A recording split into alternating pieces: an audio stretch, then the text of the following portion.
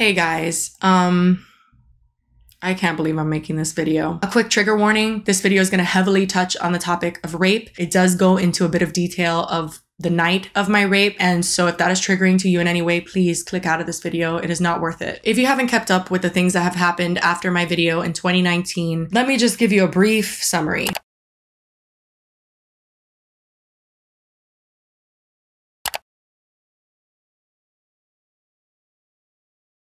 I have never collabed with Jesse's rapist. If you ask me to collab, I'm not gonna tell you to fuck off because you blackmailed me. I've never, ever publicly defended Jesse's rapist. In fact, one time I was at an event, an influencer event, and he happened to be there and he tried to take a Snapchat selfie with me and I told him to delete it right now because I did not want to be associated with him. I have zero association with Curtis Lepore. I think I only saw him like two or three times. One was at an event in Hollywood. That's where he was like, hey, Gabby Show, can I get a pic? And took those pictures. And then afterwards, the same night, everybody from the event went to the diner across the street. And then he was taking pictures of Zane and I, like implying that he was there with us. And all the responses are, you know, this girl is a rape apologist and she defended, uh, she left her best friend for her best friend's rapist. Videos that say I am a rape apologist. Which is not true. People really think I'm a rape apologist. Literal disprovable slander. I also listen to Curtis because he's a human being. And just like in real court, in the court of public opinion, if you're gonna judge and condemn somebody, you should at least hear them out. Jessie was looking for any moment that she possibly could so that she could get emotional on the call because she was filming it and she always knew she was going to post it. I want a public apology that that should never have been made public. That's not gonna happen. So I, I understand.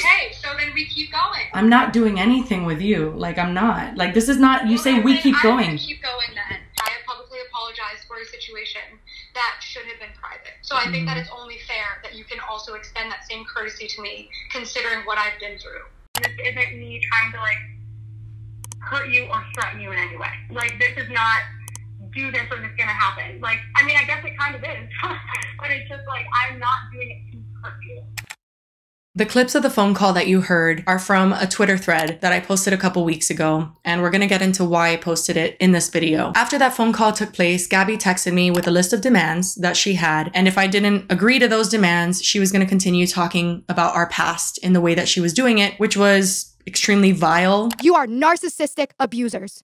And you have been for six fucking years, Jesse Smiles. Literally, right now, I'm many like, can I say that? Yes, I can fucking say that. can say whatever you you guys want. have no fucking idea what I've been dealing with behind the scenes for six years. And have I ever said a word? Have I ever tried to start drama with somebody? I was being called a rape apologist and saying I defended my best friend's rapist and ditched my best friend for her rapist. I want the false accusations removed. And I want you to publicly retract them and I want you to apologize. It was a very, very bizarre summer last summer and now this summer as well. I swear next summer is gonna roll around and I'm just gonna be hiding in a closet. Like, I can't with summer anymore. She gave me 48 hours to talk to lawyers and decide what I was gonna do. And ultimately, I think I came up with a really reasonable compromise. And I did that because I don't wanna fucking do this. I made it very clear on the phone call, I made it very clear on text. I don't wanna continue doing this. So anything that I felt I could do, I was going to do, which included an NDA that I said I would sign if she signed one as well. I didn't think it was fair for just me to have to sign one. She was refusing to sign one because she said she had to talk about the situation in interviews. If we both sign NDAs, I'll do it and we'll never speak about each other on the Jesse, internet I again. also have to, if somebody brings this up in an interview, No.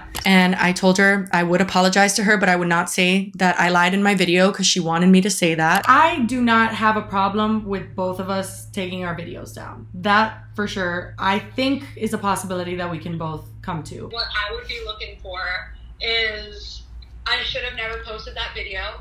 I said some untrue shit, some true shit. And I told her I would take down my videos because I never meant to hurt her. I thought that was a very reasonable compromise, to be completely honest, and I still think it was. Gabby told me that she had some meetings and she would get back to me. And the next I heard from her was when I got a phone call one night. My sister in law was in the hospital and I was cooking her dinner because I'm not gonna get into what she went through. That is her situation, but it was sad. And so I cooked her dinner because I don't know what the fuck to do. So I just started cooking her dinner because I wanted her to eat well when she got back from the hospital. And Gabby called me. My husband looked at me and said, Do not answer the fucking phone. And I answered the phone, of course. And Gabby started screaming at me. She told me that my friend Jen Dent was tweeting and that if I didn't get her to stop tweeting, that she had two podcasts that she had filmed, filled with our past, filled with emails from our past, and she was ready to release them. And I told her, Gabby, I don't know what the fuck you're talking about. That's literally what I said. I was like, I'm not on Twitter. My sister in law's in the fucking hospital. Can you leave me alone? And she told me that she was sorry to hear that, but that we all have a lot of horrible shit going on and that I needed to get my friend to stop tweeting or else she was going to release the podcast. And I ended up hanging up on her and she did send me a text message before I could even text Jen to ask her what Gabby was talking about. And she reiterated that we all have terrible shit going on, but that I needed to get Jen to stop tweeting. What she was referring to is that last summer, Gabby Hanna and her fans perpetuated a rumor that Jen Dent had raped a little girl. A random guy from Australia decided to start tweeting Jen that she raped a little girl. And Jen was literally like, What the fuck are you talking about? But Gabby Hanna fans, because they hate Jen a lot, they decided to spread that rumor like wildfire. Gabby ended up addressing this in her Patreon, saying that she was aware of the allegations against Jen Dent, but everyone stay away from these people because they're very dangerous. And I just need to say this right now there is no little girl there is no victim that has come forward. It is a dude from Australia that, when he was pressed for evidence, literally started trolling people and being like, oh, pee pee poo poo. Like, literally, this is the most ridiculous shit I've ever seen on Twitter. So, although I always believe all victims, there is no victim. So, Jen was upset about that. That's why she was tweeting because Gabby's fans tried to get Jen fired. Jen is a nurse and they contacted Jen's old nursing job and tried to tell them, about her rape allegations. So yeah, I would be fucking pissed too if a bunch of Gabby fans accused me of raping someone. What on earth? So long story short, I was telling her like, your fans called her a rapist today. Like, what do you want me to do? I, am literally just try to cook fucking dinner. And I did talk to Jen and I asked her to stop tweeting. And she got upset because who is Gabby to demand through me that Jen stops tweeting? Jen's a grown ass woman who has plenty of issues with Gabby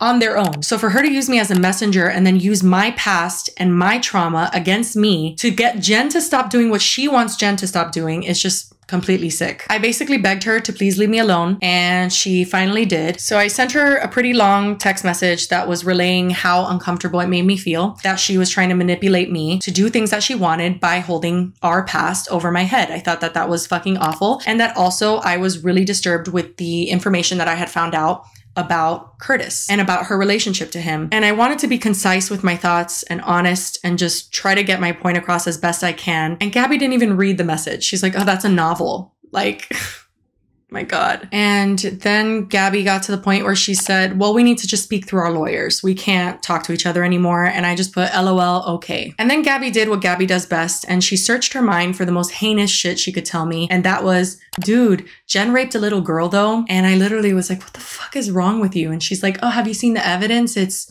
dark. There are multiple times that Gabby has just racked her brain for like, what would piss Jesse off the most right now?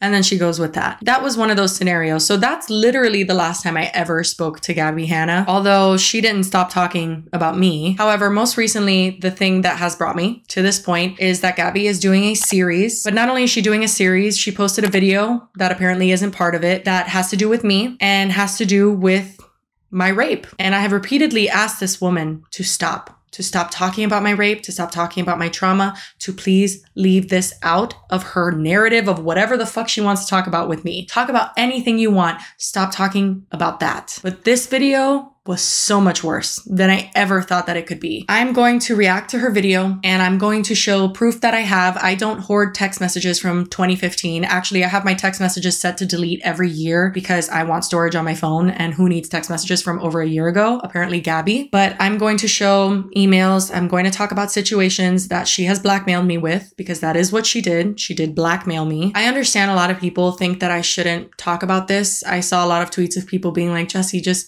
ignore this person because if there's anything Gabby's trying to do with her series, it's get attention in any way, shape, or form. Negative, positive, she does not care. And I understand that me doing this video is possibly giving her what she wants. I don't know for sure. Gabby has used every opportunity that she's ever talked about me to lie in a really, really hurtful way. And so now that she says she has two episodes of her series dedicated to me, it's very hard for me to just sit back and be like, it's okay, I'll just see what she says. I don't want to see what she says. I want to post this video, know that my truth truth is out there and the truth is out there and then not even watch her series. That's what I want. I'm not going to watch those episodes on me. I don't want to know what she says about me because this, what we're going to talk about in this video, is everything for me. If she wants to find tweets or something where I wasn't very nice to her in 2016, that's on her. She can do that. I want the truth out there and I want to be the one to deliver my truth. Gabby Hanna has, against my will, delivered my truth one too many times. And pardon my French, but she's fucked it up every time. So if Gabby feels like she can talk about my trauma, she can bring it up, she can talk about the night I was raped when that has literally nothing to do with this. If she has the right to do that, then I feel like I have the right to be sitting here and talking about what really happened. If at all possible, please watch through the entire video because if anything, the end and where Gabby talks about the night I was raped is some of the most sickening shit that I really hope people are made aware of because what she's doing on this platform is dangerous. And there's no other word to say it. What she has done and what she's continuously being allowed to do to not just myself, but many others is dangerous.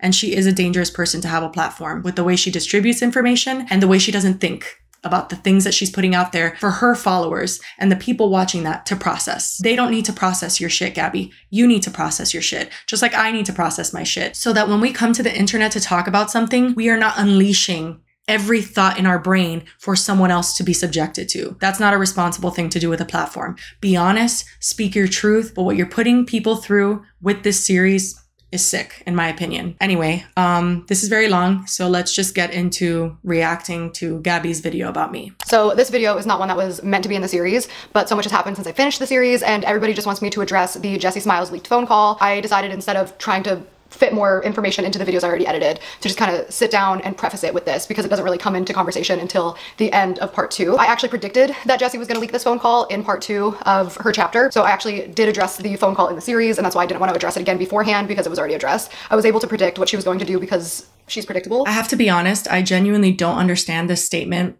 at all. Gabby started creating this series in March. She started filming this series in March. Do you know what I was doing in March?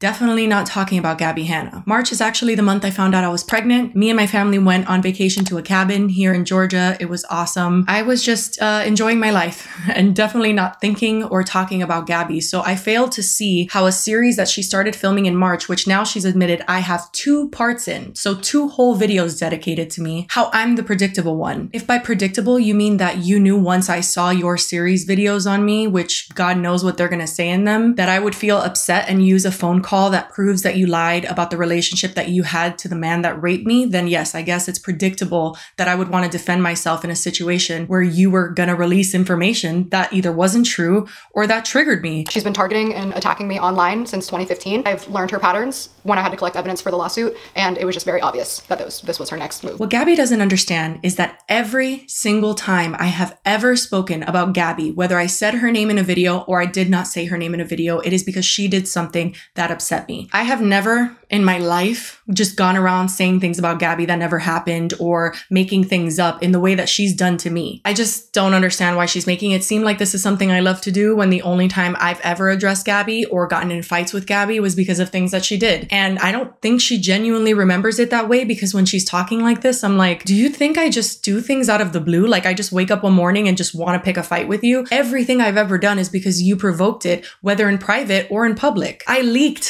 those phone calls for a very specific reason, Gabby, and that's because you have been talking about me consistently for the last year publicly. After last summer, when you completely annihilated me online when I was not even retaliating for 99% of it, I just learned to drop it. Like I didn't want to deal with you anymore. And then you make a video on my son's birthday where you're talking about all the people that have wronged you and you say stories about me because you talk about the person you used to live with, which is me. And you're just saying all these insane allegations and everybody's going over to my Instagram page on my son's birthday and being like, oh, you're such a horrible mother. I feel horrible for your children. And I'm like, what the fuck is going on? And then fast forward to when you go on Drama Alert and you're talking to Keemstar, a man who has repeatedly not just told me I wasn't raped, he has literally joked about my rape and on multiple occasions just says, oh, it's very hard to believe because they were dating, which we weren't, but it shouldn't matter. This man has harassed me online for years. Gabby knows this. He is an infamous misogynist and rape apologist and overall horrible human being. And Gabby goes on his show to talk about me and Trisha Paytas, to promote a song she wrote for Trisha Paytas that Trisha Paytas didn't even want her to write. And I ignored that. I just just said, fuck it, whatever, shitty thing to do, I'm gonna keep it pushing. But when a BuzzFeed reporter just last month reaches out to me and says, hey, I had an interview with Gabby and she spoke a lot about you. Would you be willing to answer questions? And for you in that article to say, oh, I think it's a little chaotic that I haven't gotten apologies from people like Jesse Smiles, when you know that you were on a phone call with me a year ago threatening me that if I didn't do what you wanted, which includes apologizing to you publicly, you were going to talk about our past publicly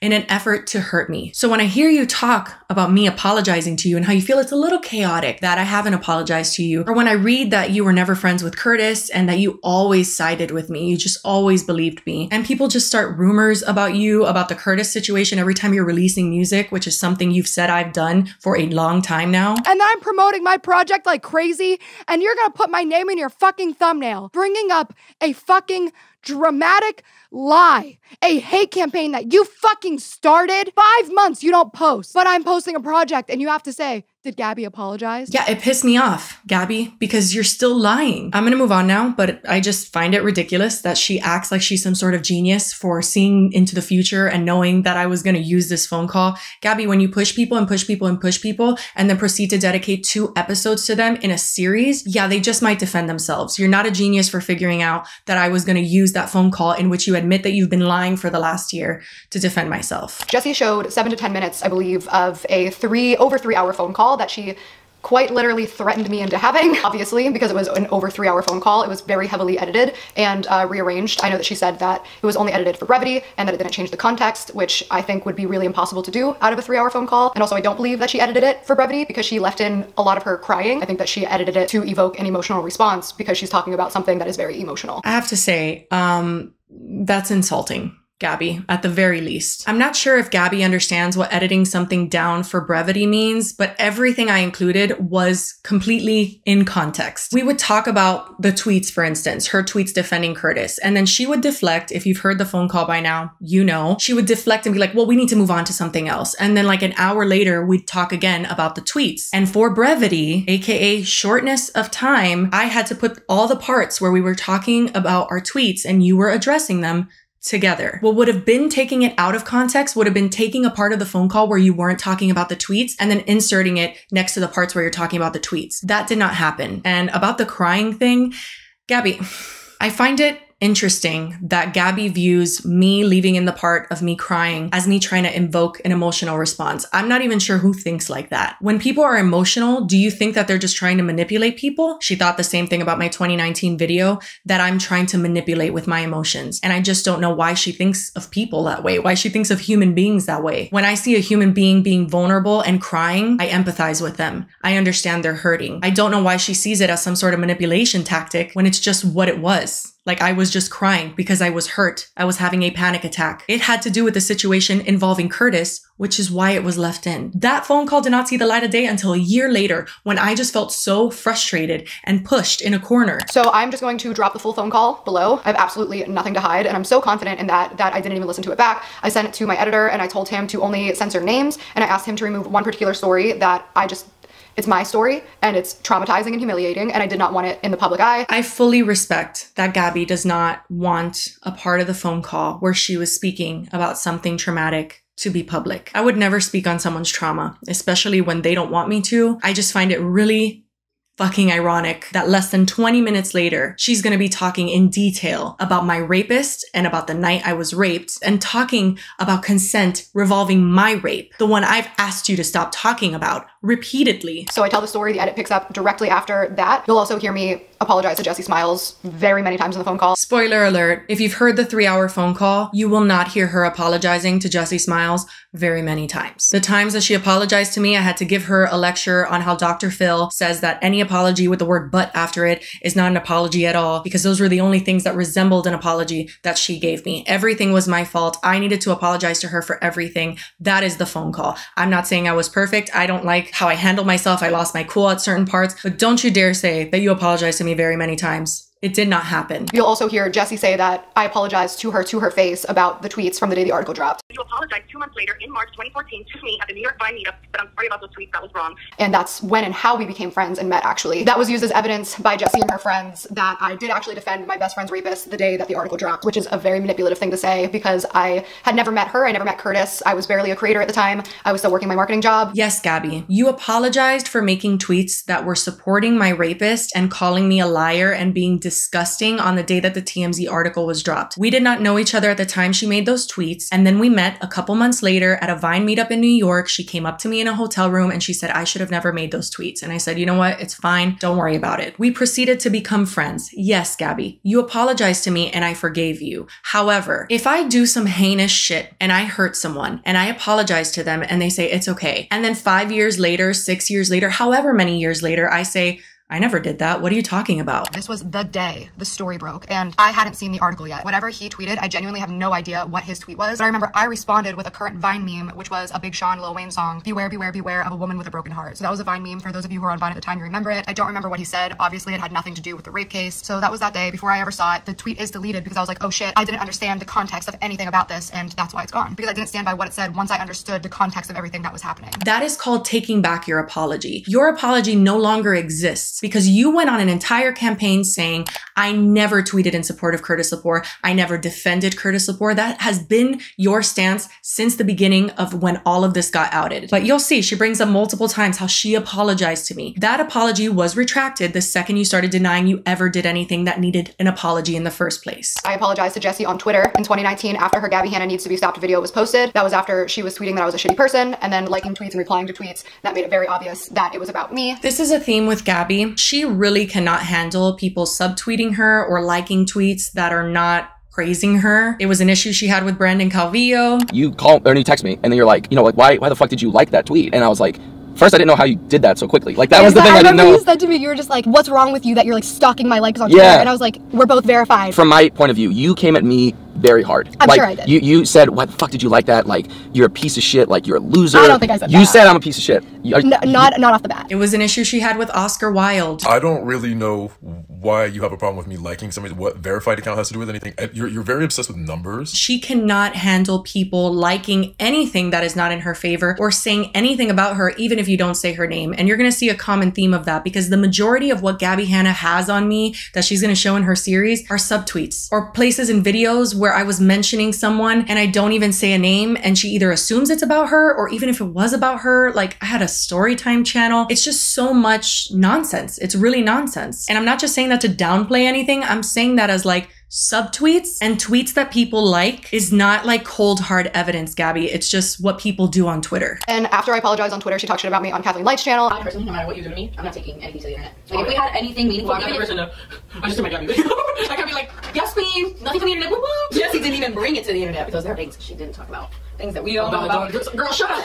The thing that bothers me so much about addressing all of this is that my issues with Gabby are very hurtful, very painful, dark, traumatic. And then she brings out things like this. And it's like, you see, Jesse was shit talking me on Kathleen Lights' channel. Did you watch that and really? Really compare that to what we're talking about right now? We're talking about you were friends with the man who raped me and lied about it. And you're talking about I was having a mukbang with Kathleen and I told her to shut up because we brought.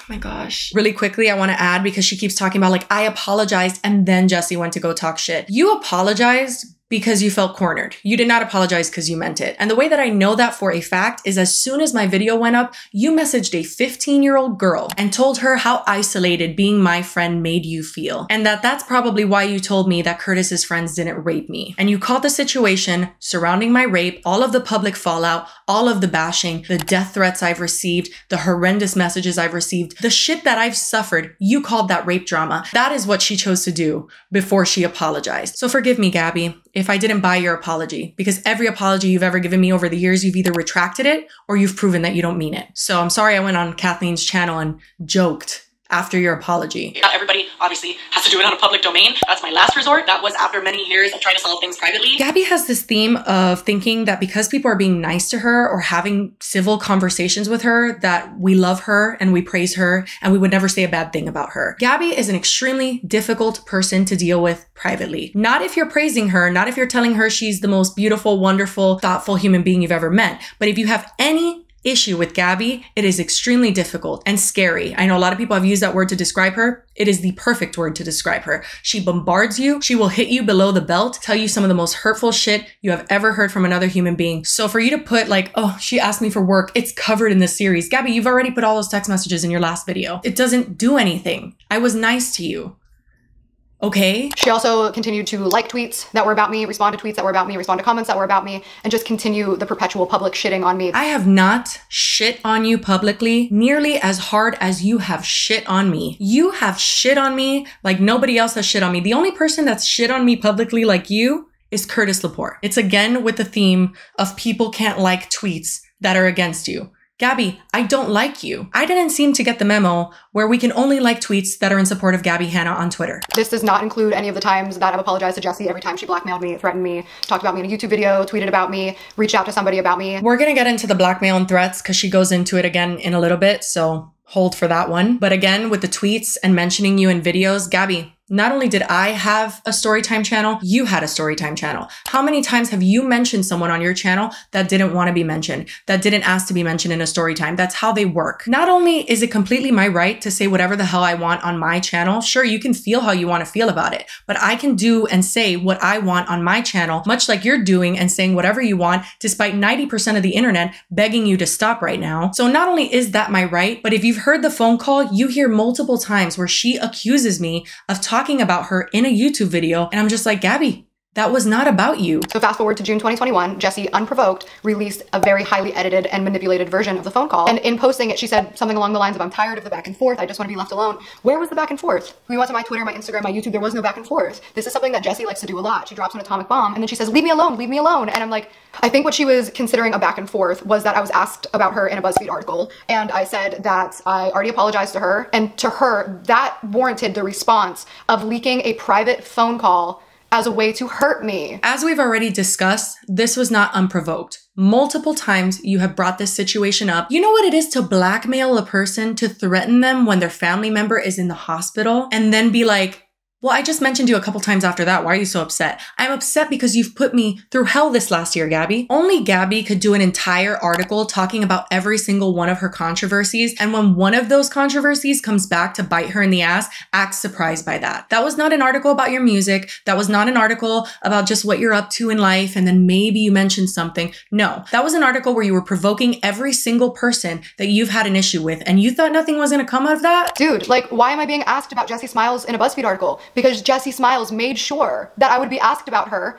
for the rest of my fucking career, probably. You have every right in an interview, Gabby, especially a BuzzFeed interview, to say, I am not going to talk about this, this, and that. If you don't want to talk about your affiliation with Curtis Lepore or me ever again, you don't have to. Don't allow an interviewer to ask you about it. And guess what? Maybe the people that you've hurt will stop being so fucking upset and then we can all move on with our life. But don't pretend that I'm just here waiting for a moment where you mentioned Curtis when nowadays the only time I hear Curtis's name is when you're talking about it. Do you know how long I have worked and I have had to overcome shit to stop hearing that man's name every corner I turned? I left Vine when I had 3.6 million followers and no clue how I was going to make money because that was literally my only means of income at the time. And I left because I was sick and tired of hearing Curtis's name and being told that he should have killed me and that I'm too ugly to rape or that he didn't rape me. I was sick and tired of that. And so I left that app and I built myself an entire new audience. And even when I've talked about it over the years, a lot of my followers are survivors and I have a very compassionate and understanding follower base. And I'm very, very grateful for that because I didn't have that for a long time. And I thought I had gotten over that point where I couldn't talk about Curtis without being bashed. You know, for a long time, I could talk about it and, and I had people supporting me. After Me Too, everything changed. People actually started fucking listening and having compassion. And I was like, wow, I can actually talk about what happened with me without being fucking bashed or hearing Curtis's name in a taunting way or a, oh, he didn't fucking do this to you and just horrendous shit until Gabby Hanna. You bring up the Curtis situation to paint me as a liar, to paint it as if I start rumors about you when you're releasing music. You tell people that I am a liar, that I'm malicious, that I abuse you, and you don't think that's a back and forth? You don't see how that pushes someone? You don't see how fucking upsetting it is that the only time I have to hear about Curtis Lepore is out of your mouth now and out of your fans' mouths? You could have addressed this situation honestly and none of this would have happened. In 2019, screw the apology. You could have just been honest and said, yes, I did defend Curtis in 2014. And you know what? I should have never done that. And I shouldn't have provided Jessie's personal text messages and information about her medication and her trauma as an effort to convince this person that I never defended Curtis because I actually did defend Curtis. Anything, Gabby. And this would have been done. But because you cannot just accept the part that you have in situations, the ways that you've genuinely hurt people, you have pushed it as far as this. And you're acting surprised by it. Trust me, I also don't want to be asked about Jesse in a BuzzFeed article. I have a career in entertainment. I do press. I am allowed to talk about my life. This is something that has become a huge part of my story, much to my dismay. But it's not right for you to be able to say whatever you want, and then I can't be asked about it, I can't respond about it, I can't defend myself, I can't share my side of the story. Not only is it not your story to tell, as I think most people would understand that, but when every time you bring it up or you address it, you lie and you say a different story. Oh, I never defended him. Oh, but I did, but I forgot about that. Or I never interacted with him. Oh, actually, I did. I went to dinner with him, but that I, I didn't remember that. That is enough. Unless you're just gonna address it to admit the truth without trying to deflect and say, I'm the one in the wrong, and actually own up to the part that you've had in not only doing the things that you've done, but lying about them and causing people to harass me over your lies. Unless you're gonna do that, then yeah, I think it is fair to say stop talking about anything that has to do with me and Curtis Lepore. And I have asked you multiple times, this is a traumatic situation. I do not wanna talk about this anymore. And I certainly don't wanna be talking about it to have to rectify the lies that you've told. It's not fair. So you are allowed to respond in any way you see fit. But when you lie about it, I'm allowed to tell you that I don't want you talking about it anymore. You don't have to oblige. You don't have to listen to me, but that makes you a shitty person. And that's just what it is. I was asked about her because since 2015, Jessi has made it her mission to align me with her and finally in 2019 it worked and that's been my life ever since. That is the sickest shit I've ever heard. I have made it my mission to align you with my rapist. Like I just woke up one day and really wanted you to have anything to do with my rapist? You think that it didn't fucking kill me? That you've had dinner with him? You've been to parties with him? You have had conversations where you've asked him about his side of that night? I wanted that? Do you understand how sick that fucking sounds? And I know to the viewer, it may seem like a back and forth, but that's because you don't see what I don't respond to. You only see what I respond to. You don't see the hundreds of thousands of views that go missing off of her channel when she posts a video about me. When I posted my video about Gabbie, I did not expect for it to garner the attention that it garnered. It was very, very intense for me. Over six 6 million people have seen that video that I posted about Gabbie, which is an insane and extremely intimidating number. And full disclosure, there's a lot of videos I don't like on my channel. Frankly, I wish I could delete all my story times, but I feel like my followers would be very upset with me. I don't like that era of my life. I don't like how I talked about people, even when I was trying to be funny. I never disrespected people on purpose or were like, oh, this fucking person, I hate this person. But even in the ways I tried to make things funny, I'm like, Jessi, ill, because it's just not who I am anymore. So yeah, when I posted my video about Gabbie, there were videos both with Gabbie that I didn't want up anymore. And there were videos that I just looked at and I was like, ew, gross. And I privated them. It's not a mystery, Gabbie. I was being overly cautious because way more people than I thought were going to see my video saw my video. And so I kind of panicked and was like, wait, I don't want them to see this story time or this story time because what the fuck? That's embarrassing. I don't even understand what the point of bringing that up is, but sure.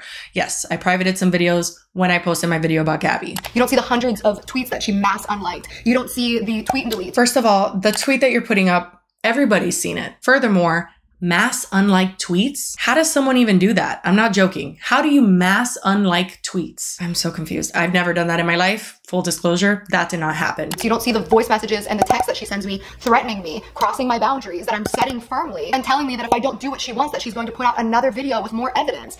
And the evidence being tweets that I deleted in 2014. I mean, anybody that can read saw on the screen I was not threatening Gabbie. Why do you put up text and then say something completely different? What if someone's not able to look at at the screen? What if they're doing laundry while they're watching your video and now they believe I threatened you with evidence? It's just, it's irresponsible. It's just an irresponsible way to deliver information. I'm saying this with my whole fucking chest, and I'm past the point of needing or wanting people to believe me. I'm saying it for me. This is the truth. Jessi is my abuser. Since 2015, I have been the victim of narcissistic abuse, blackmail, harassment, stalking, slander, smear campaigns, gaslighting, threats of physical violence, and online harassment since March of 2015. I'm gonna try to do this and I'm gonna try to not get so fucking angry. But it is so beyond irresponsible as a creator with a platform your size to accuse every single person that you don't like, that you've had issues with, and that you've hurt of abusing you, of being narcissist. This isn't me starting drama.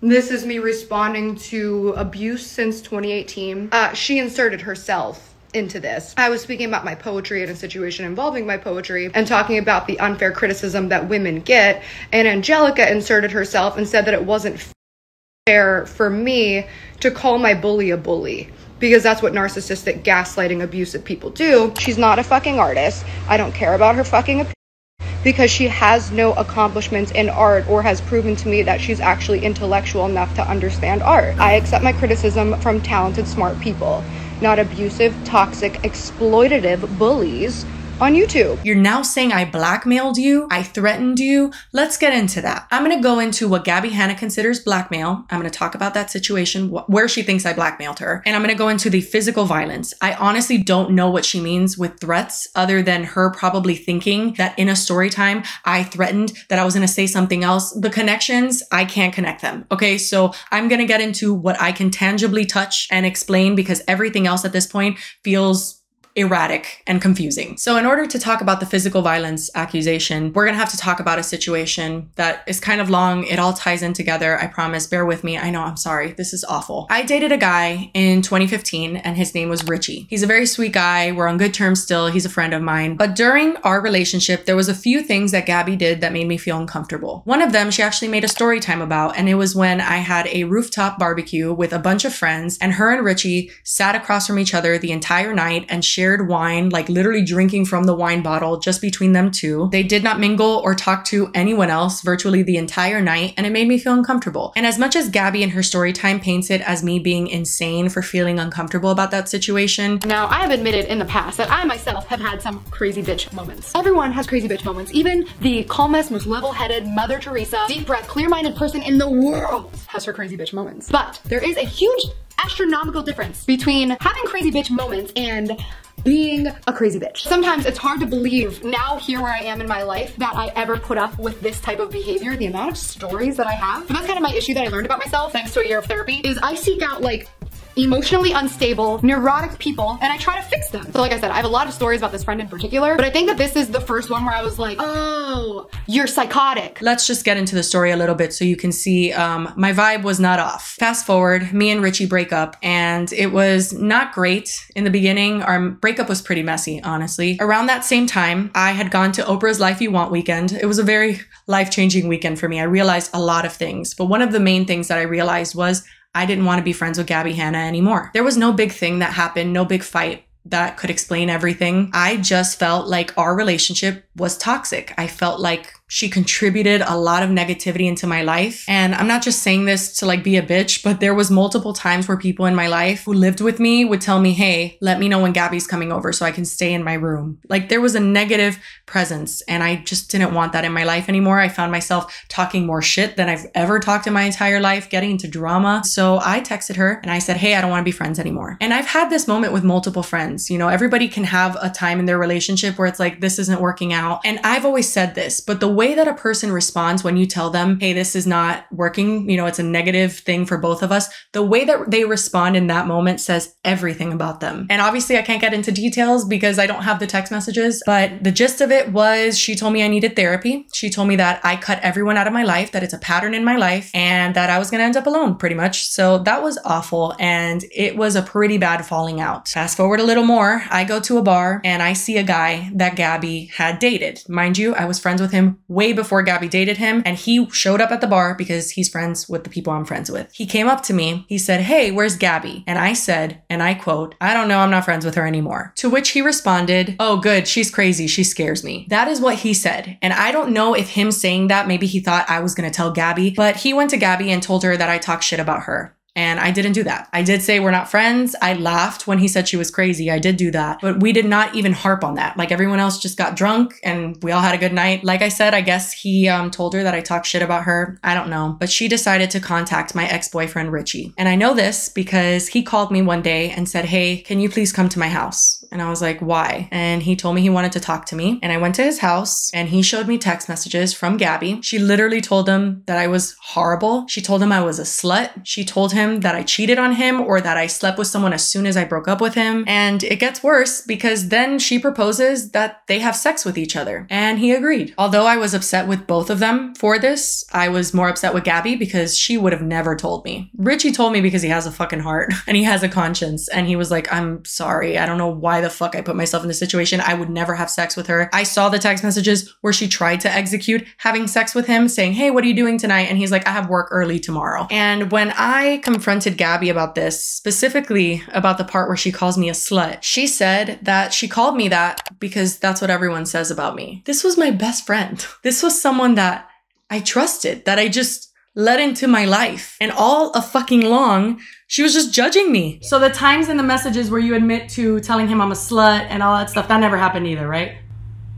Ah, Jessi. Every single time that her and I have ever spoken about this, she continues to say, Well, Jessi, if I wanted to do it, I could have done it. So just get over it. I did not try to have sex with Richie because if I wanted to, I would have. When he asked me, to The- oh, there it is. friend There it is. The favorite sentence you say in the emails. If I wanted to, I could have. Anyway, No. as I was saying, If I wanted to have sex Richie, I would. So stop telling people that I tried to fuck your boyfriend when I didn't. So fast forward to a couple months later after that took place and I make a video called People I Hate. This video was like a pet peeves video. It was me talking about like, oh, I hate when people at the airport do this and that. Like it wasn't an actual people I hate video. I don't know if the part where I say YouTubers who say welcome back, that that bothers me. I didn't even know she said welcome. That's 90% of YouTube. And then also I said when girls call you their best friend right away and like leech onto you, which was not the case with Gabbie at all. We had a very like steady friendship and it was mutual. We both called each other our best friend. Like it's just, I don't know what she thought was about her in that. But again, Gabbie wants to talk about patterns. It's a pattern with Gabbie to believe that things that are not about her are about her. And so she took that video, thought I was talking about her, and ran with it. She contacted Richie and she asked him if he would be in a video with her exposing me. For what?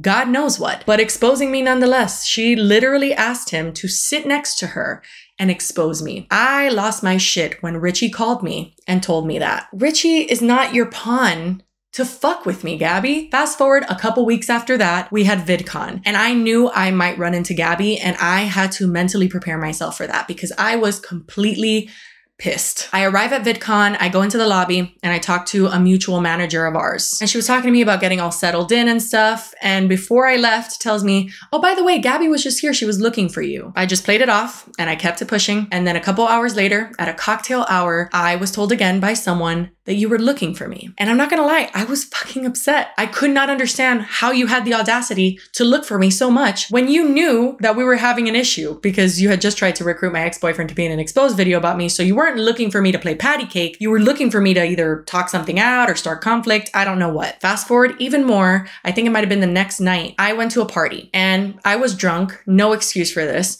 but I was drunk. I encountered one of our mutual friends who told me that Gabbie was looking for me again, and I lost it. That's the only way to describe how angry I got. And I unblocked Gabbie's number and I texted her, If you keep looking for me, you're gonna find me and I'm gonna punch you in the face.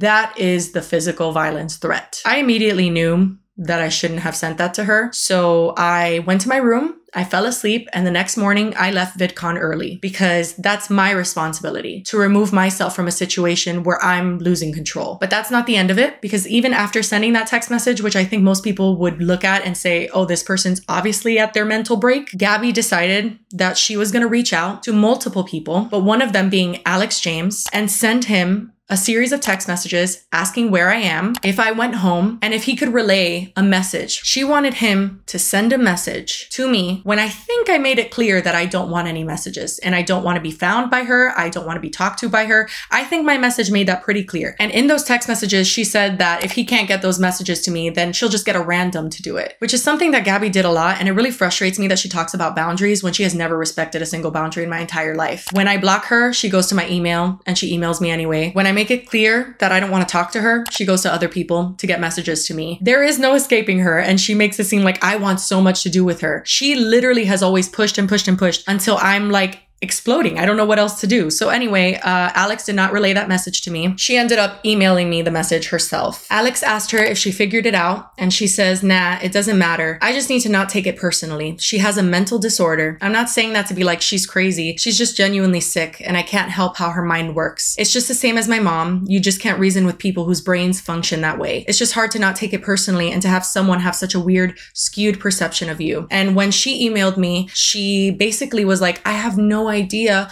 why you're upset with me. I thought everything was fine. Why did it get to this point? And I feel like I'm going insane. I'm like, Gabbie, you tried to recruit Richie for an exposed video about me. The person you tried to have sex with to spite me. Yeah, I'm fucking pissed. Stop looking for me. I don't want to talk to you. Go away. And this is after she had been in house with Curtis and allowed him to apologize to her if he had ever been rude at events. This was after that. So this is not the only thing you've done to spite me. And now you're just pissing me off. And when I point that out to Gabbie and I say, Gabbie, you tried to recruit Richie for an exposed video, she's like, well, it was just a preemptive measure. Gabbie has a history and a pattern, if you will, of not addressing things until they're shoved in her face. She will hide anything and everything that she has to do with a situation. It's not a memory thing. She's always done this. That event had just happened a few days before she emailed me. She knows damn well that she had tried to recruit Richie for this little exposed video, and you're gonna pretend to not know. You pretend to not know because you think I don't know. She will not address anything or be honest about anything until you show that you have proof of it. That is why people take things public with you, Gabbie. That is why people talk about you publicly.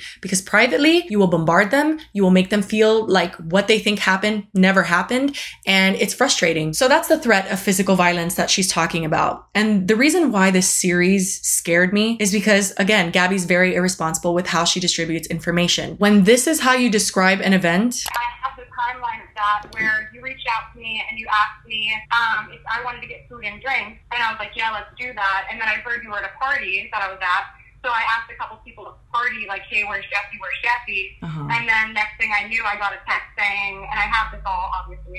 Next thing I know, I got a text that said, um, I'm blocking you just to say this right now. Don't ever put my name in your mouth again.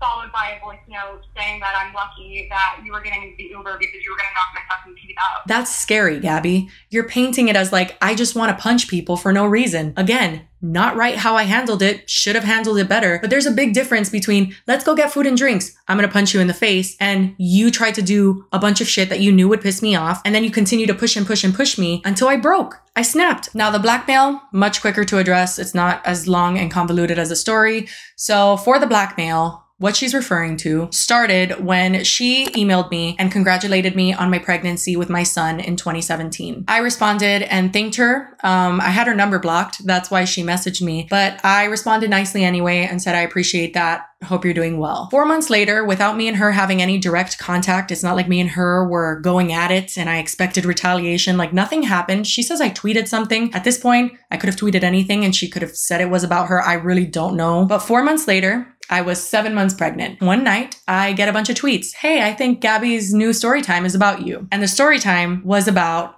the time where she stole my man. And the man she's referring to is Richie. So seeing that story time and how nasty she spoke about me, because she wasn't just saying a story, she was being disgusting. How you say that shit when four months earlier you were like, you're so positive in life now, congratulations.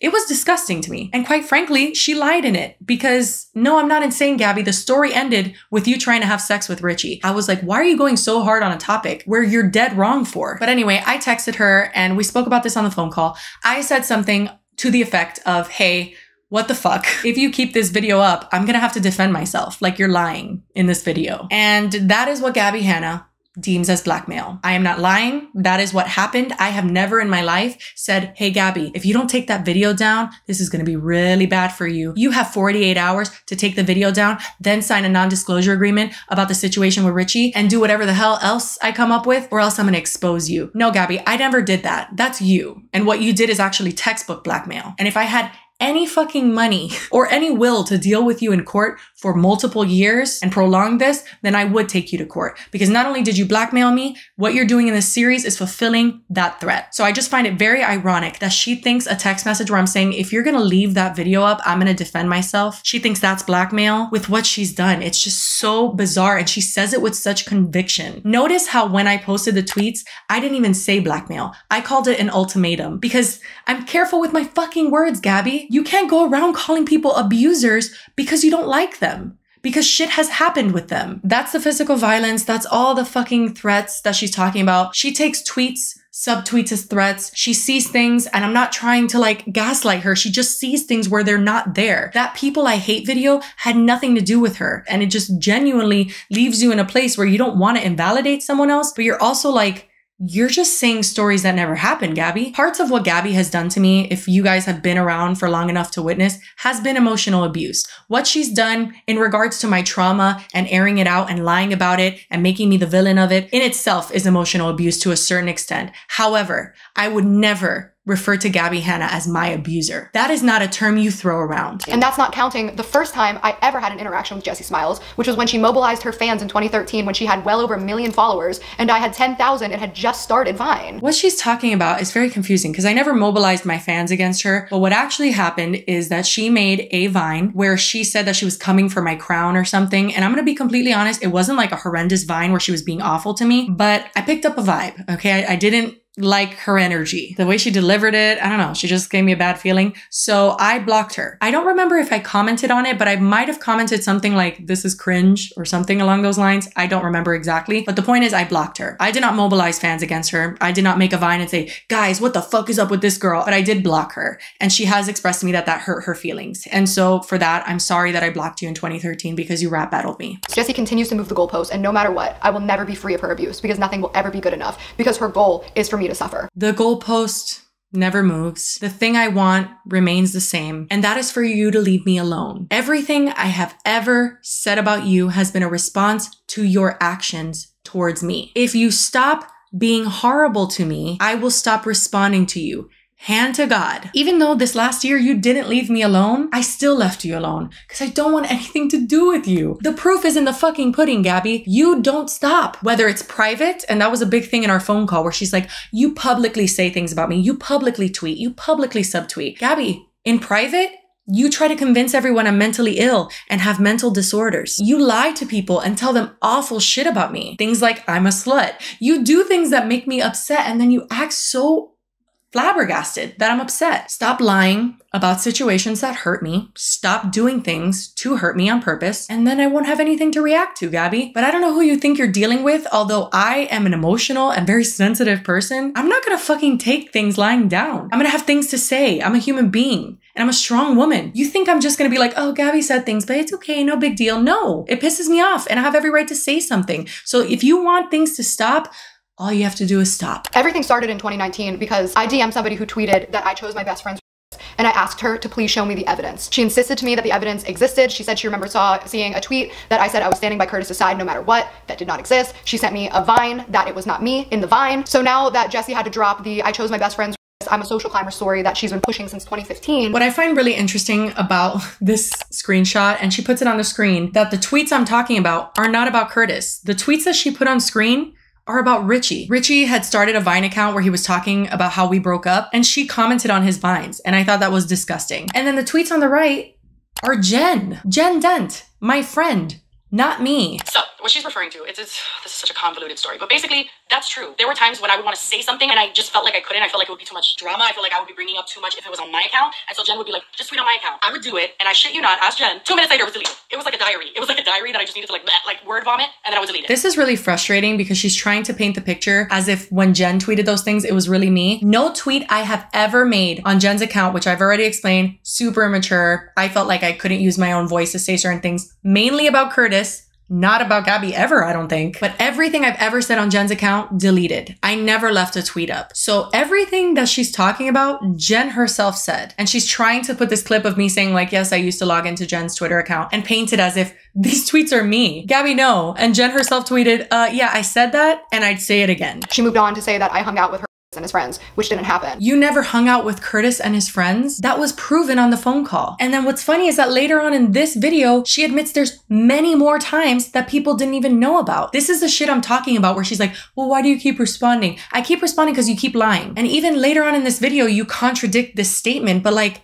this is why this is so frustrating for me. Which one is it, Gabbie? Did you hang out with him? Did you not hang out with him? We all know the answer. I'm just wondering which one you're gonna say. She lied in saying that he pulled me aside and told me and that we talked in person. He didn't call you. You hung out with Curtis's friends. Curtis was there. This is what you told me. He pulled you to the side and he told you that. He told you, I'm so sorry I was mean to you. I can't believe what Jessi did to you. Trying to get on your side. That, that part's true. But it happened in person. Absolutely did not happen. And I know that didn't happen. It was a FaceTime call. And I know for a fact it was a FaceTime call because he recorded it and blackmailed me with it. I didn't know that she had FaceTimed Curtis Lepore until I had a phone call with her last summer. The reason why I said it wasn't a FaceTime call, this happened in person, is because Gabbie has hidden all of her interactions with Curtis. And it's only now that I know the majority of them. I'm sure there's more that I don't know about, but she's acting like it was a FaceTime call. Gabbie, I didn't know that because you've lied to me and you never told me about a FaceTime call. But either way, she now goes into the call, which is super disturbing. She brought up the tweets that I already apologized for in 2014. And then when that kind of fell through, because she herself said, Don't you remember you apologized to me for those tweets? That's how we became friends. So then she realized that she couldn't use the tweets anymore. So then she threatened me into a phone call that I told her I was not ready or in the headspace for. How do you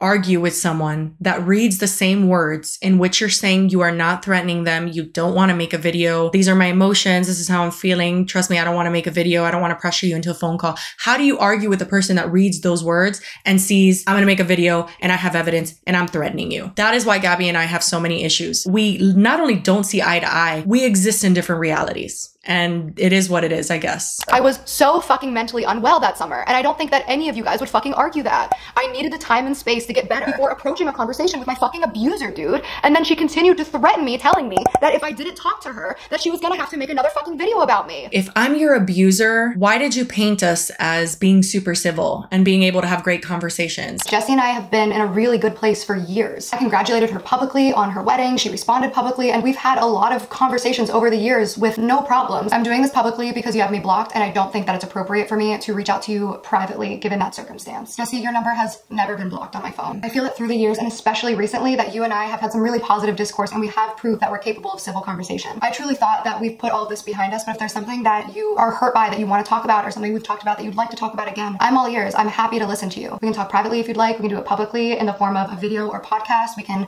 have a private conversation where we record it just so that we have it for ourselves. Am I your abuser or am I someone that you have civil conversations with? Are you open to having a conversation with me or are you terrified about having a conversation with me because I'm your abuser? It can't be both, Gabbie. So I had the conversation even though I knew that she was just trying to catch me in something and get something that she could use. And that's exactly what she did. I find that ridiculous because I quite literally said a million times in that phone call that I wanted this to end, that I would not talk about her, that she could sue me if she wanted to, that I did not want to make this public or continue this publicly. What part of that and saying that a million times made you feel like I was waiting for you to slip up so I can expose you? The fact that I spoke to Curtis was absolutely not news to Jessi. The fact that he told me the story was absolutely not news to Jessi. I told her that in 2015. That's why she started the rumor that I chose my best friend's and that I was a social climber. No, you didn't, Gabbie.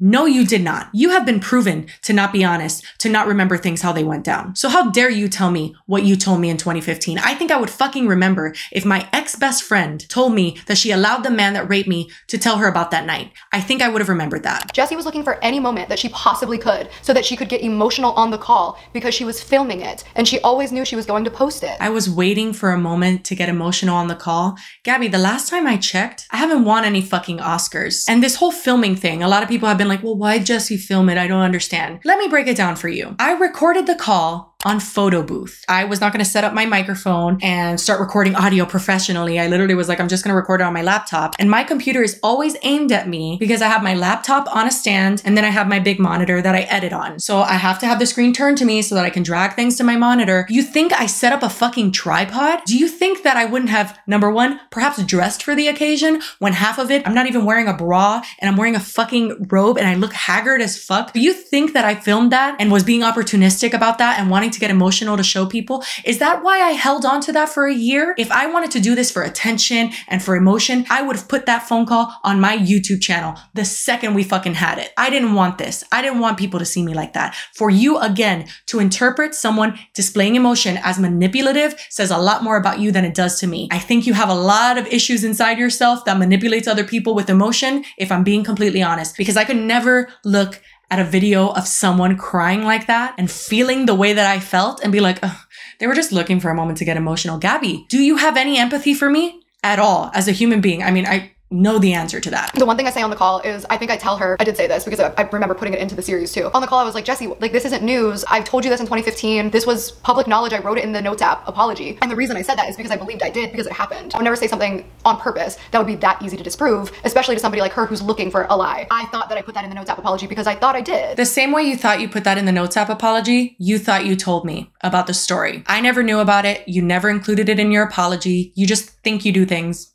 and you didn't. I wasn't looking for a reason for you to lie. I just went to go check after you insisted multiple times when I told you, please let's change the subject. You insisted, no, no, but I wrote that in my notes and I just thought you knew about that. So I went and checked your notes of the apology and it wasn't there. I wasn't looking for anything, Gabbie. It was literally right there. You asked me to go check. So the reason I removed it from the first draft was because I never wanted to talk directly about Jess- Jessi's story because I knew by saying something like Curtis told me his side of the story that it would start opening up questions. Well, what did they both say? This is something that I literally never wanted to fucking do. I never wanted to do any of this. She says on screen that if I said I asked Curtis what his story was, it would open up questions of if the story matched and if it didn't, how I handled his lie. I thought he was the one that asked you to tell you about that night. He said, Do you mind if I tell you the story of that night? And I said, I mean, yeah, that's fine. Like, I've heard her side. You can tell me yours. Nothing that Gabbie says about her interactions with Curtis are honest. I believe that 100%. She either doesn't remember them genuinely or is hiding them on purpose. But now, because she put out a very highly edited and manipulated portion of a private phone conversation used to make me look like I'm a fucking monster, Give me one way in which I removed context or made you look like a monster in a scenario where your own words didn't already make you look like a monster. Gabbie talks about, like, oh, Jessi drops atomic bombs on me. The atomic bombs I drop on you are your literal words, the words you speak and you write. If that is an atomic bomb on your life, you need to reconsider the way you treat people and the way you speak to people. she got upset that I used the clip that she posted from the phone call in my intro video. And like,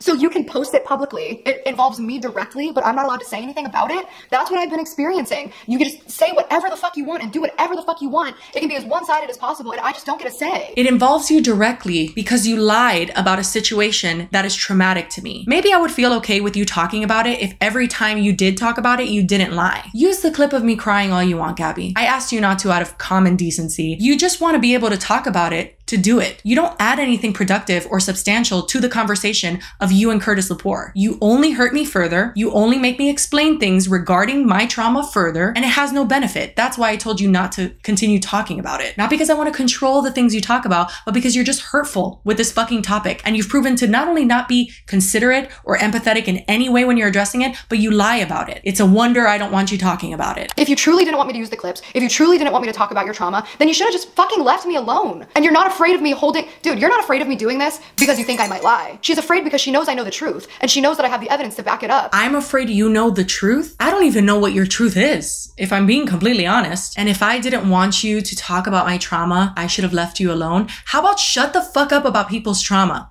Period. You are so quick to tell people they can't speak about yours or situations that are sensitive to you, but someone else cannot ask you to stop lying, stop bringing a painful situation up to serve you. If you have an issue with me and things I've done to you, go ahead, Gabbie. Bring it up. Talk about the time I almost punched you or whatever you want to do. That is fine. That's your story to tell. That involves both of us go for it. But for you to feel like you even have the fucking right at this point with how much you've lied about the situation, and then you're gonna have the audacity to tell me, like, she's scared because I know the truth. Gabbie, you never speak the truth. Even when you speak your truth, it's like so easily disprovable because it doesn't even make any sense. I'm scared of the way that you deliver information in such an irresponsible, unempathetic, horrible way. That's what I'm scared of, Gabbie. Not the truth, your truth. There'd be no reason that she'd be so upset about this video or me leaking the phone call. She wouldn't be trying so hard to weaponize her trauma against me, saying, don't talk about me and my trauma, don't make me relive my trauma. Nobody did that but Jessi. How many times do I have to ignore Jessi trying to involve me in a trauma that has fucking nothing to do with me before I get to say something about it. And I know that I can also prove that anything I've ever done to you was a direct response to multiple attacks as a desperate move to try to get you to leave me the fuck alone. Can you please explain to me how becoming friends with the man who raped me after you were my best friend and I trusted you and I allowed you into my life in a very personal and vulnerable way? Can you explain how becoming friends with a rapist, period, is a direct action of me not leaving you alone? I'm very curious to hear your response because in my book, personally, just me, Nothing in this world can make me be friends with a rapist. I know this seems random, but a lot of you guys remember my Sam Pepper story time where I almost fought Sam Pepper. But what a lot of you guys don't know is that that story included Gabbie in it. Gabbie was the person that I barely knew at the time who came into an apartment where I was and she was crying and she said that Sam Pepper pushed her. She had apologized to me for the tweets already, but we were not close friends. And what did I do? I went on Twitter and I told him to go fuck himself or something along those lines. And then I almost fought him at an event when him and Logan Paul came up to me and said, You weren't even there. Like, you don't even know what you're talking about. And I said, I don't have to fucking be there. I saw my friend crying and I know who you are, what you've done to multiple women. And I was willing to not just not be friends with Sam Pepper and anyone that he associates with. I was ready to fight a grown man for hurting someone that I didn't even know at the time. Nothing in this world, Gabbie, would have made me be friends with a rapist. Nothing in this world would have made me interact with a rapist, period. Not a phone call, not being in the same room. If there's a rapist near me, they better fucking run. So for you to say everything I've done is a direct action, please describe what action I've done that made you surround yourself and be in multiple scenarios and almost collaborate with Curtis Lepore. I told Jessi the truth on the call. I listened to Curtis when he asked me if he could tell me his side of the story because I knew the true story. Jessi showed me the evidence. She showed me the text messages. I heard her side of events. And if he was gonna try to say something that wasn't true, I was gonna call him the fuck out on it. I also listened to Curtis because he's a human being. And just like in real court, in the court of public opinion, if you're gonna judge and condemn somebody, you should at least hear them out. You're not the court of public opinion, Gabbie. You were my best friend. We had just stopped being friends, had a falling out, not for a huge reason, but because I didn't want to continue our friendship. You are not the court of public opinion. You were someone I fucking trusted. The reason Curtis called me is because the rumors that Jessi was spreading about me and the horrible shit that she was saying about me got back to him and he found out that we weren't friends anymore. So he asked a friend to put us in contact and got my number. And I do think it's also important to note that at the time, the entire community was still backing Curtis, including Jessi's best friend, Alex James, who was actually Jessi's friend at the time. That's why this entire thing holds no fucking weight. Alex James called Jessi when the article dropped, and Jessi told Alex her story personally to her friend. I'd never met her. And then after Alex's friend Jessi told him about her he still chose to move in with Curtis. He still chose to collab with Curtis. He still actively associated himself as Curtis's friend.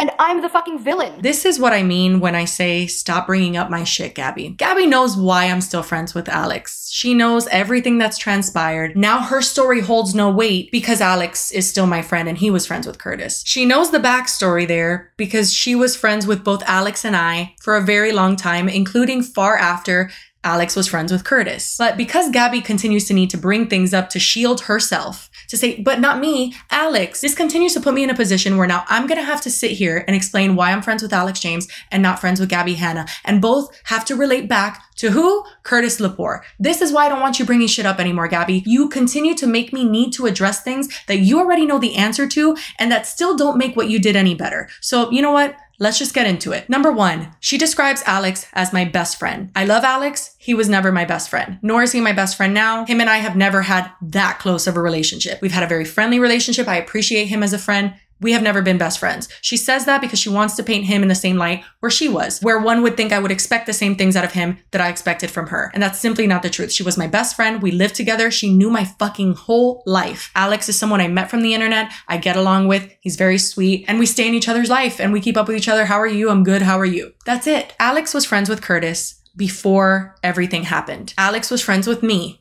before everything happened. He was in a position where he felt he needed to be neutral. And to be completely clear, it's not a situation you stay neutral in. He knows that. Alex never publicly bashed me in the way Gabbie did. Gabbie very publicly called me a liar, fought with multiple people over it because she was so sure that I was a liar, said that girls cry rape in her neighborhood thousands of times. Alex did none of that. Every interaction Alex has had with Curtis, he has apologized to me for, and he was honest with me about in the time it was happening. Every interaction he had with Curtis Lepore, I knew about. Most of them he told me about before they happened, but at a certain time, I just accepted that they were friends. But the real reason why Alex is in my life today is because Alex knows what he did wrong. I don't even know how many times Alex has apologized to me and not just apologized to me. Literally a few weeks ago, he was FaceTiming me and he had tears in his eyes and he's like, I should have never fucking put you in that position. And I have to tell him, Alex, it's okay. It passed. You grew from it. You learned from it. But that man, he knows what he did wrong and he's owned up to it publicly and he's owned up to it more importantly, privately to me and has shown me that he gives a fuck about me and that he feels horrendous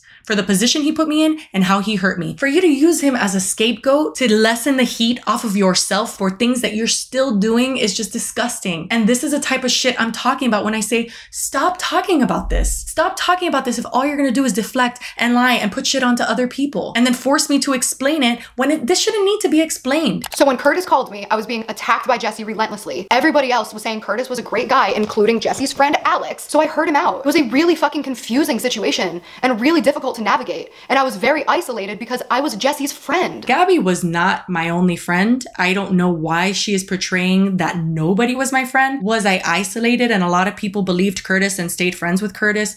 Yeah, but I was not like a hermit crab that nobody wanted to touch because I was like infected. Like, what is this rhetoric that I lived this horrible, miserable life where nobody wanted anything to do with me? That's not the fucking truth either. I had friends at the time, Gabbie, and I'm not even talking about like my real life friends, even influencer friends. And I just find it very insane that you are the only one that complains about being isolated. I have a lot of other people that stood by my side and never for a fucking second did they make me feel like that was a burden. And nobody fucked with me because I was Jessi's friend. And that was okay with me. I was okay being the person who had Jessi's fucking back. Do you know how many people I've met over the years that have been wonderful to me? Get over yourself. And guess what? In the end, you weren't a good friend at all. You completely opened yourself up to a relationship with someone who hurt me like Curtis hurt me. Don't paint yourself as if you were a good friend. Everything you ever did and said during our friendship is null and void when you did what you did with Curtis Lepore. Stop painting yourself as if you had my back. You know what people who had my back did? Avoided him like the fucking plague. Not because I asked them to,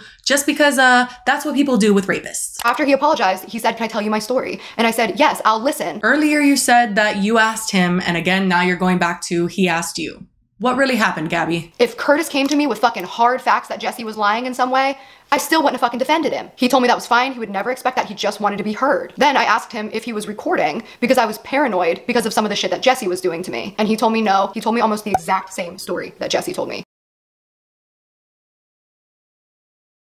I don't think it's reasonable to assume that consent was implied, especially because they were broken up. You can still rape somebody if you're in a relationship, by the way, but if they were together and that she had previously told him something and there was a misunderstanding, I think that would probably be a different story. But you don't know that your ex wants to have sex with you in the first place. This is where I start to lose any ability to be kind in the things I'm going to say or react in a way that's in any way calm. Not that I've really been calm in this entire video. First of all, you're going off of what he told you, which I'm not going to get into here because he put out a statement with his sick and twisted fucking version of things. And I put out my statement of how things happened. And so if you want to find the discrepancy and what she's referencing when this is not something she should be fucking referencing at all, but for you to say that if he had been my boyfriend at the time, if we hadn't been broken up, then maybe it would be a different story. Are you seriously implying that if he had been my boyfriend, me having a head injury and telling him I feel sick and then waking up with him having sex with me, unprotected sex with me, that that would have been fine? Do you understand how fucking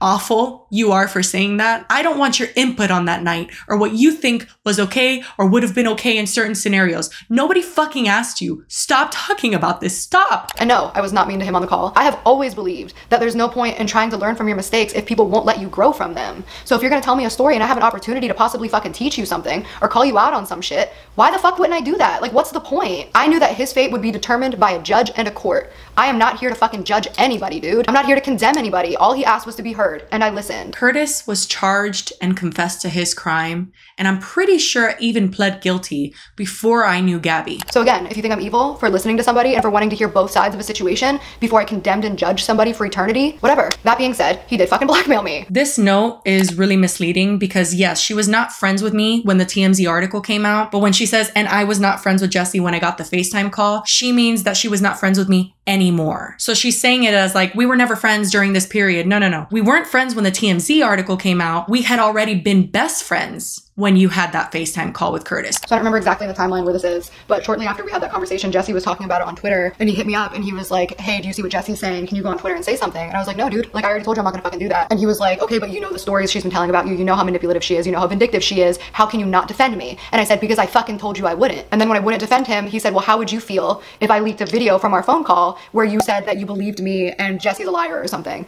And I don't have it. But I remember the gist of it was basically he clipped together pieces of the conversation where if I were to say something like, I believe you when you say that you didn't mean to hurt Jessi, but that doesn't mean that she wasn't hurt, he clipped it to be like, I believe you. You believe Curtis when he said he didn't mean to hurt me, Gabbie? How does someone do what he did and harass me for fucking years after that and not mean to hurt me? And you're saying that he clipped together your words so that it said, I believe you?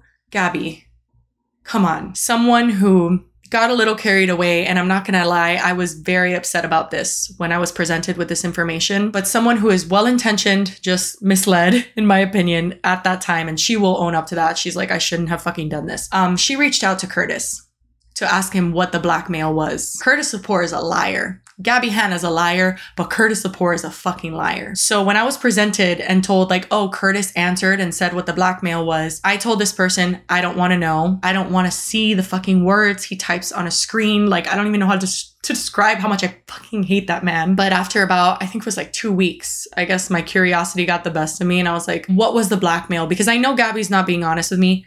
I know Curtis is not honest. Something in my gut just wanted to know, I guess. And I'm gonna put the messages up on the screen right now. This is between Curtis and the person who was messaging him. And Curtis says that Gabbie reached out to him and told him that she was sorry for what I put him through. He asked her to defend him publicly, which she also admits. And she said no. I don't know who to believe, but I know both of them are fucked up. And I know that regardless of what Gabbie thought she was doing in that phone call, what she was really doing is sympathizing with Curtis. That's why she wanted to hear his side. That is why she's still, when she's talking about, oh, there was a discrepancy, she's talking about his story. She sympathizes and believes his story after she was my best friend. What level of fucked up do you have to be to do that?